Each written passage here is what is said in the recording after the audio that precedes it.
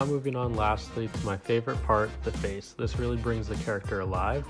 So here I do two eyes, one is bigger than the other as it's closer to the other and it gives that perception. Uh, do a little mouth, which I love, and also this one's kind of away from you. Really enjoy that. Do a little outline there. I add in some texture to the ears, there's a little bit of color there. I try and sometimes do a little bit of shading around the eye to give it a little bit of pop add some whiskers, add a little bit of red to the mouth to give it some, and then on